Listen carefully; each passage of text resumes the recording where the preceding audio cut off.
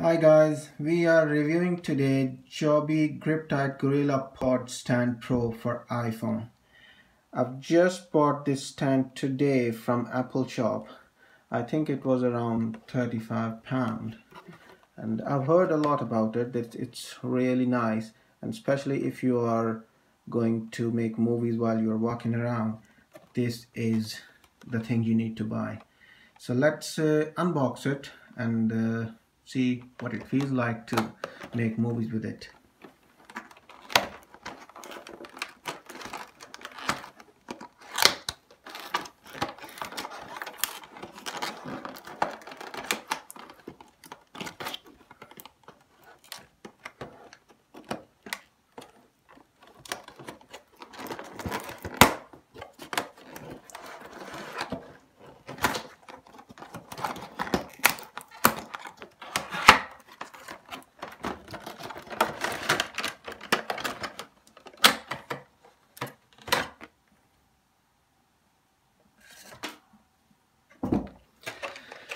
so that's all which comes with the box.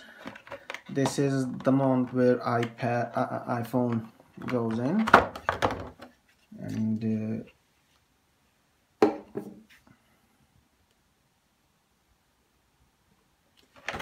and these are the legs or stand you want to call it. The best thing is you can mold them in any shape or form you want you can uh, you know wrap these things around on a pole on a tree or whatever type of facility you got, you got available. Like you can play around with the legs in whichever form. And the best thing is while you are walking around and filming these things will absorb the shock and it won't appear in the in the uh, in the movie.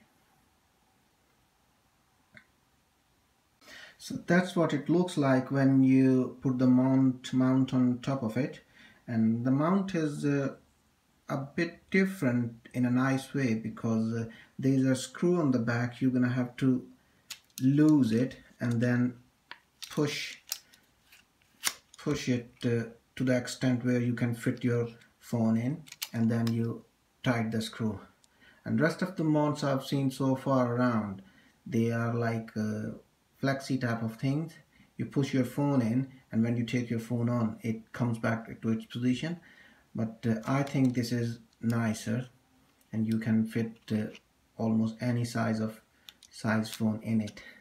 And uh, the other thing is the same screw if you lose it a little bit and uh, you can change the angle of the mount. So I'm gonna start filming with it and uh, then I'll see what it feels like what type of what quality it produces. So I'll, I'll once I've used it enough then I'll uh, try to put a complete review of uh, the benefits and uh, what it feels like Thank you very much. If you like these reviews and the other videos I put on, I will really appreciate if you can like the videos and subscribe my channel. And if you have any question or uh, anything you want me to put review on, just uh, mention it in the mention it in the comment. Thank you very much.